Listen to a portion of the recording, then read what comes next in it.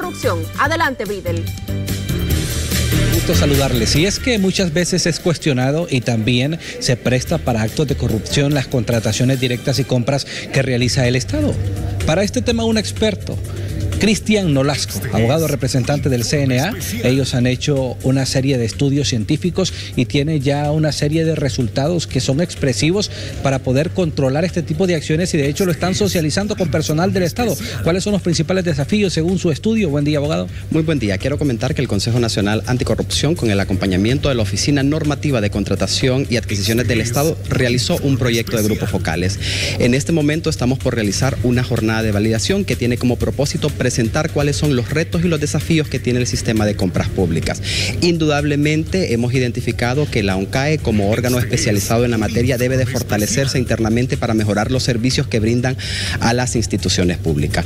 Otro de los desafíos que identificamos corresponde a la Secretaría de Finanzas. ¿De qué forma agiliza el pago que corresponde a los proveedores del Estado? Y claro, como Consejo Nacional Anticorrupción logramos precisar que uno de los grandes desafíos es evitar el ejercicio de facultades discrecionales en la administración pública.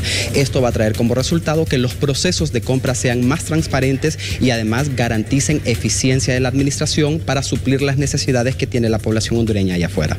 Ya presentaron hace unos días eh, supuestos actos de corrupción cometidos en cuatro alcaldías, específicamente por este tema. ¿Han identificado más actos de corrupción referente a esto, a las compras directas, a las contrataciones en el gobierno actual? Bien, de manera clara debo de mencionar que el Consejo Nacional Anticorrupción mantiene abiertas diferentes líneas de investigación.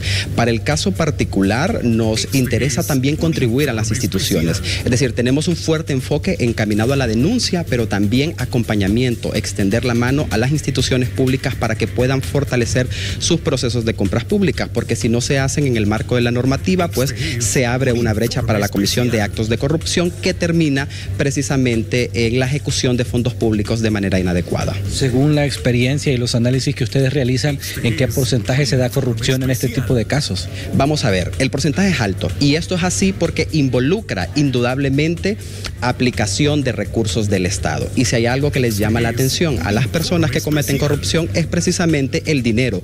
Por eso es que como Consejo Nacional Anticorrupción hemos identificado que fortalecer el sistema de compras públicas es esencial para garantizar el adecuado uso y manejo de los fondos que nos pertenecen a todos y a todas. Le agradezco su tiempo, abogado Cristian Nolasco, representante del Consejo Nacional Anticorrupción, han realizado una serie de estudios científicos a través de los distintos departamentos o unidades que ellos tienen y han llegado a la conclusión de que se debe de fortalecer el proceso de contratación y de compras por parte del Estado para evitar actos de corrupción y han identificado también que se prestan los procedimientos anteriores para que se cometan. Qué gusto saludarle junto a Axel Flores. Buen día.